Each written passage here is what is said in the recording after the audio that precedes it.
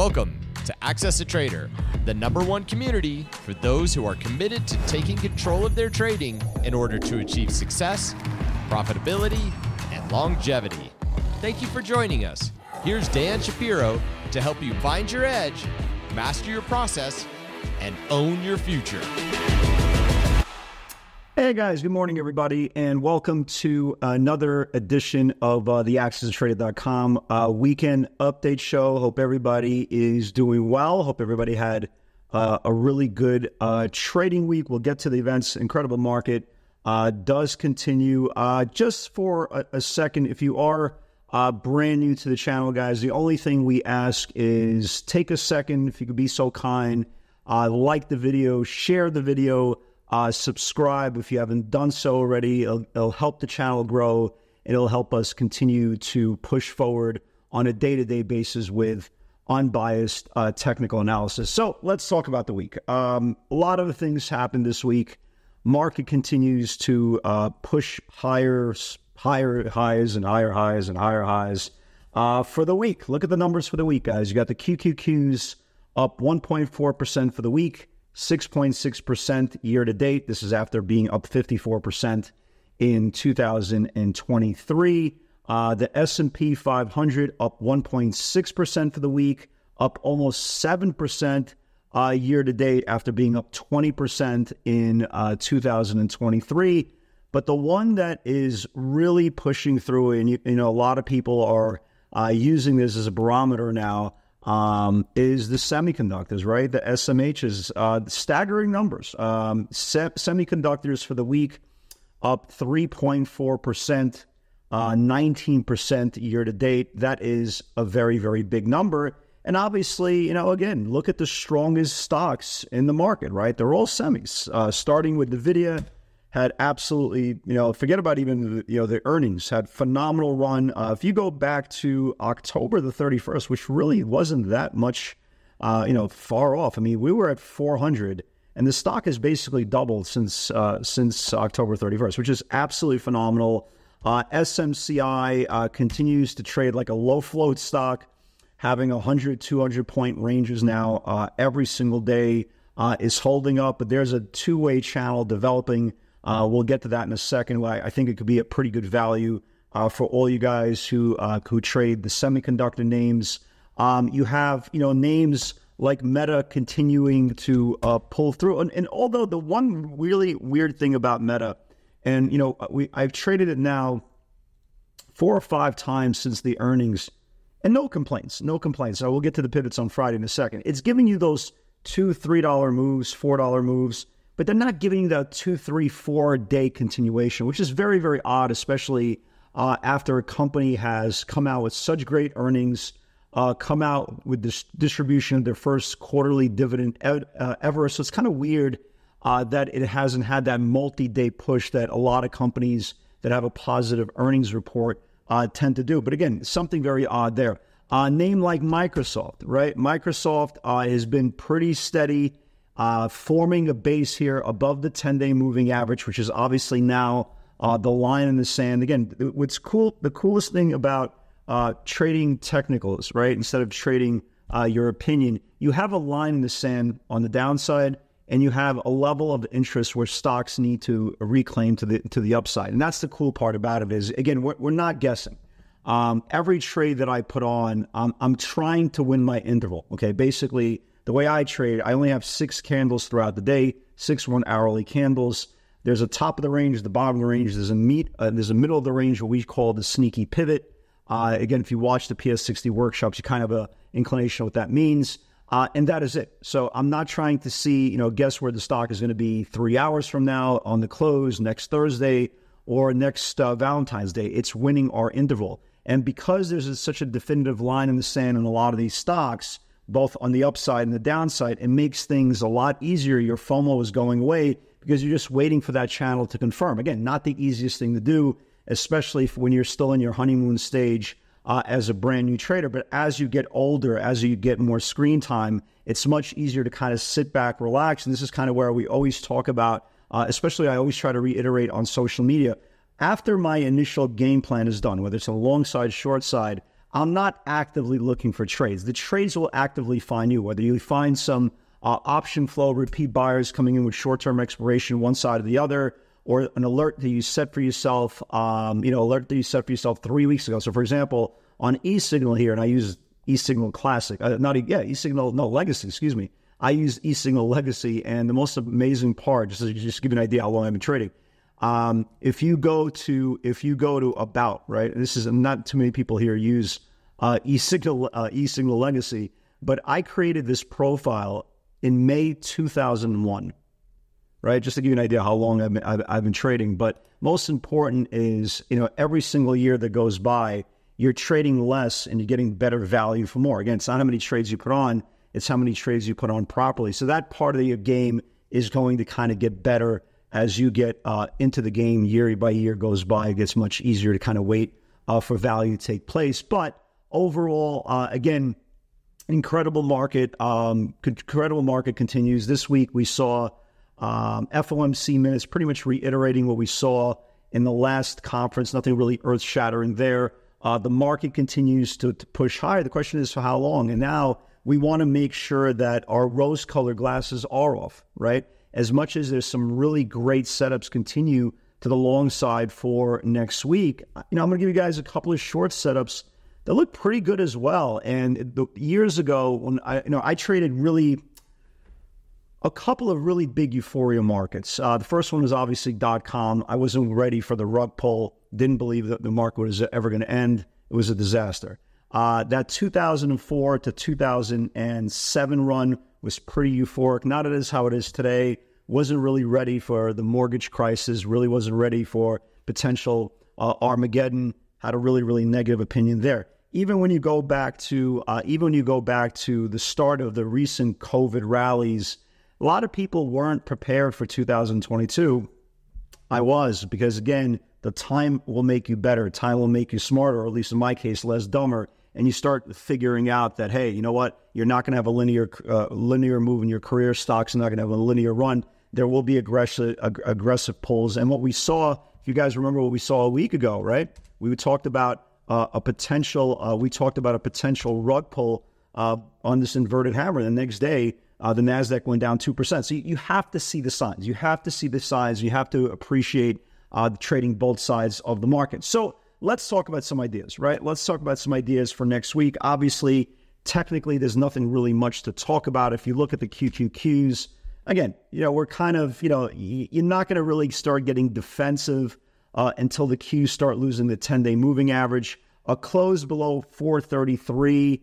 Uh, you should start taking a little bit of off risk, at least for that one day. Again, if you're a position trader, uh, you know, you turn around and say, ah, damn, but you know what, I'm holding these things for a while, and that's fine. You, this broadcast is not really for position traders that are holding a position for seven months. This is a day to day issue. That's again, I could be bullish one uh, at stock one day, and I could be bearish at stock the next day. It's buried basically based on the formation of the channel that it's about to confirm. So going into this week, uh, I don't use the word line in the sand, but again, you want to be a little bit less uh, aggressive overnight if you see the Qs lose the 10 day moving average. So far, they held them and they're building upon uh, them in the last couple of days because of NVIDIA's earnings uh, and some of the really, really big moves in the semiconductors. But watch, you know, watch a potential uh, line close above uh, four, four, below 433. If we could close below 433 uh, in the NASDAQ 100, you might get some value uh, to the downside. Obviously, to the upside, it just keeps on grinding and grinding.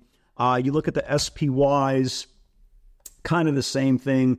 Um, you know, a big, big move here. Uh, you want to watch the previous day's low of 507. That was yesterday's low.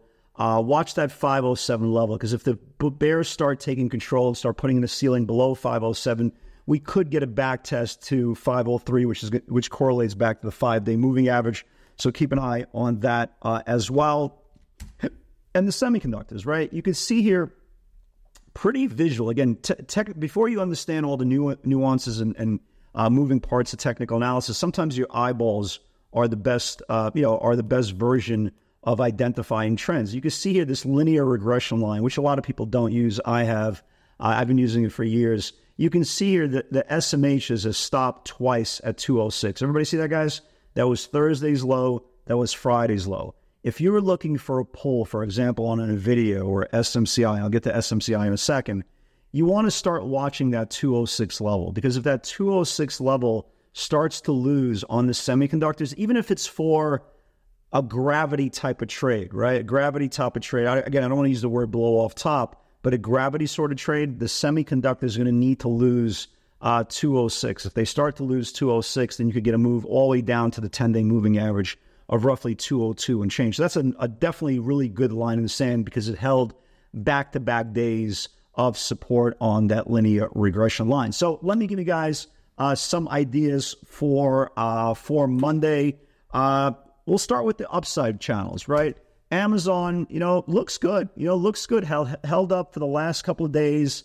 Uh, Jeff Bezos has now sold a ton of stock. Uh, it looks like the market has embraced uh, that selling in the last few weeks. Um, you know, we'll see. You know, we'll see. The, the key is uh, Amazon needs to get above Friday's channel and start to build. Uh, we saw some pretty decent short term expiration bets for the 180, 185s going into April and May. So this is definitely one that stood out. Doesn't mean it's going to rally on Monday. Doesn't mean anything. It still needs to confirm Friday's channel, but at least you can tell compared to its peers in the mega cap technology group, it's held up very, very well. And now it's one day away from reclaiming Friday's channel. And if the market does rally on Monday, it can give a good push. Uh, sticking with the semiconductor names, uh, Qualcomm, not there just yet, right? Not there just yet. It's not imminent there. It's not imminent yet, but it's a nice looking channel. It really is. Um, you know, keep an eye, you know, keep an eye for the January highs this week. It's not imminent, guys. It's not imminent. It's still three, four dollars away. But keep an eye, you know, set an alert on Qualcomm. If it could start building above the January highs going into this week in the hot space, it could be very good. Uh, the same thing with ARM Holdings. Uh, ARM had a phenomenal, phenomenal three day run uh, into earnings, uh, after earnings, excuse me, uh, going from in the 70s uh, all the way up to 164. It's just consolidating here. It's consolidating here basically about a week and a half now below this channel. If the semiconductors continue to push, keep an eye on this thing above this channel as well. Looks very good, right? Looks very, very good uh, as well. So keep an eye on that. Let me see what else I want to give you guys from the long side. Take a look. It's it's not a sexy stock. It's not. You know, it's not every single needs to be sexy. But look at Nucor, right? In the steel group. That's a beautiful looking chart. It's not going to be it's not going to be a fast moving stock. It's not going to go up ten dollars in one day, twenty dollars the next day.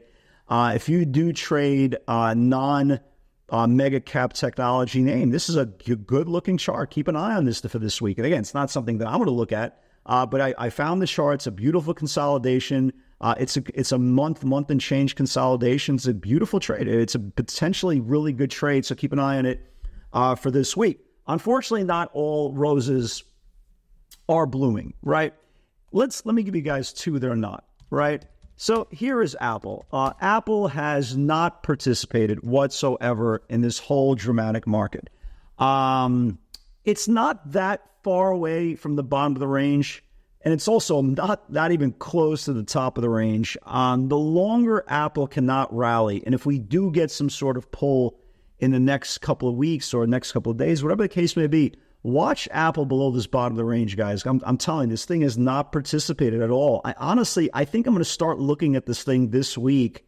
Um, if it if it does rally into any type of supply, start rejecting it. It just it just can't rally. It shows you here every single time it rallies into supply, what happens? It gets rejected. Into supply gets rejected. Into supply gets rejected. So uh, any strength this week, or at least in the beginning, I want to see uh, if it gets rejected off supply again. Maybe start shorting it against uh, against supply on the way down. But the one that is staring out like a sore thumb is Tesla. Um, you know, we got long Tesla above this break about a week ago, had a great run. I, am not complaining on the run. Uh, went from the 196.50 uh, area to 205 and change pre market uh, the next day, which was great. The problem is it failed this range. It started putting in lower highs. And keep this in mind. This is really the one that has never rallied, not even come close to rallying uh, with anything else. And as soon as it lost the 50 day moving average, if you guys have been watching this broadcast for a long time, you kind of know what happens. You lose the 50 day, it's a wrap. It's a short term, long term, medium term wrap.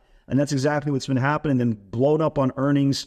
I'm watching the bottom of the range here this week. Guys, I'm telling you, if Tesla starts losing the bottom of the range, and despite uh, the aggressive call buying that we saw this week, it, again, my initial interpretation of this is hey, this thing is putting in now three days of lower highs. It lost back its range, day two below the five day moving average. The key is if it loses the bottom of the range here, okay, that started in the beginning of February, we're going to have a big trade potential on the way down. This is definitely the one uh, we want to watch uh, this week. And SMCI, again, I, I continue to reiterate the point SMCI is not for me. And the reason why I say this, uh, I trade stocks that have a lot of liquidity, right? AMD, Tesla, Nvidia, right? Um, Amazon, Apple, Meta. You know, not maybe Meta is not as great example. There's still a lot of liquidity, right? SMCI for me trades $2 spreads, 100 share lots. Basically, I don't know how the hell I'm going to get a position in this thing. And by the way, if I'm wrong, I'm down 10 points. Not really my cup of joe. Again, I'm, I'm, I'm, I'm turning 50 in June. I'm not turning 15. However, for all you junkies out there, and again, and I don't mind missing a setup on SMCI because I can make up for it in another area in the tech space. Maybe it won't be as sexy as a 100 point move, but I don't need a 100 point move to, to get a lot of you know, meat on the bone. SMCI had a, a shelf registration this week. It's had an incredible run, and it's setting up very, very tight. You see how the, forget about the top of the channel here. You see how it held the 10 day moving average? That's the green line here. Do you guys remember the last time it lost the 10 day moving average? It lost the 10 day moving average. The stock went from 690 all the way, excuse me, it lost, it went from uh, 800 all the way down to 692. Well, it's setting up exactly the same way, right? Again, this is a very big copycat business. Stocks have a very short memory. Uh, watch SMCI this week, especially if it correlates with uh, what was the number I said on the SMHs? Uh, if it correlates on the 206 pull on the SMHs, guys, watch SMCI. If it loses the 10 day moving average, you got like 150 points in, in, on the next support. So, again, for all you guys who are trading, especially in the option side, keep an eye on this thing, but it has to lose the 10 day moving average for this trade to potentially work. So, really, really uh, big potential there. So, we're kind of set up, uh, you know, we're set up for both uh, the upside, the downside this week. The key is now stay patient, don't guess, don't anticipate, just let it play out and let it work. So, let's talk about the pivots from this uh, from Friday. Uh, first of all, if you guys remember Wednesday's broadcast, I turned around and said we have to wait for pullbacks. We have to wait for pullbacks. Wait for pullbacks. Everything's up like 300 points. We had a crazy good good move on NVIDIA on Friday. Uh, number one, this was you know this was a sneaky pivot. I'll talk about the sneaky pivot in a second. So this is the Note Friday. Uh, this was the Note Friday uh, pre-market. Congratulations everyone that was holding. I held a runner uh, overnight. Uh, excuse me, I sold it right before the 800 pu- uh, 800 push the previous night around the 795s area. Not sure we could have played it in the video better from the from the previous day. First uh, we caught a, a, massive washout into the 740s that exploded back into the 780s. And then there was a, a an unbelievable pivot, uh, 778 sneaky pivot. Again, if you watch the PS60 workshops, you kind of know what that is. Uh, if you keep, you want to keep a runner, God bless. Uh, again, here is the sneaky pivot. Even if you didn't catch the washout, here is the sneaky pivot. 778 uh, needs to build to reclaim the previous candle, and the damn thing went to 825. So just a phenomenal move, absolutely phenomenal move. Uh, Friday, there was two areas of interest on on Meta. 490 needs to build. 490 uh, went to 494 pretty quickly. Uh, I unfortunately missed. Uh, it, it, just went too fast. The liquidity got dried up really quickly. I missed the 490 to 494. I caught the remount, the bounce uh, from 491 into the 493s before the market got pulled. Uh, AMD came close to confirming, uh, never did. Tesla came close to confirming, never did. Uh, PHAT, nice little move here. For all you guys who traded uh, $11 stock, rejected three times, needs to build. Here was PHAT. Went from like 11 to 1140s. Nothing crazy. But again, is that a good thing? I don't know. Not really my thing. Uh, and then you had DocU uh, waiting for we waiting for a flush that didn't, didn't come. Uh, Square had a nice uh, pre-market move, went up like a dollar and change, nothing crazy. Again, had good earnings. Uh, Rivian day two got destroyed. Uh, Rivian 11, if it builds below, can flush. Here was Rivian. Again, Rivian double downgrade on Friday, lost the 11, went all the way down to 10. Really nice move there. Congratulations what you guys got there. Uh, Amazon, again, continues to act really, really well. Only went up about 30 cents, 40 cents or so. didn't give us a second entry, but again, acts really, really well. This was big. Congratulations for you guys who caught uh, CVNA. Not really my thing, but uh, 7150 rejected three times, needs to build. Here is CVNA. Here is a 60 minute view, right? Here is a 60 minute view. Uh, rejected 7150, 7150, and it took out the 7150, went to uh, 76 and change before it got pulled. Great, great move there as well. And there was one sneaky pivot. Here it is sneaky pivot on square 8023 rejected a supply, needs to reclaim for an afternoon push. Nice push. Here's a sneaky pivot on uh, square right over here. You see, this here, here, 8023. 8023 was supply. It got above 8023 and put up a $2 move before the market got pulled. So, really good trading week. Uh, NVIDIA obviously was the star, uh, but overall, great action. Great, great action for all you guys who are brand new to us. Um, you know, and, and saw exactly what we've been doing for the last couple of weeks. Again, you see, you don't we don't need a good market. Okay, we just need a range, whether it's to the upside and to the downside, and that's the name of the game. Guys, God bless everybody. Stay blessed, stay healthy, and with God's help, I'll see you all on Monday. Take care.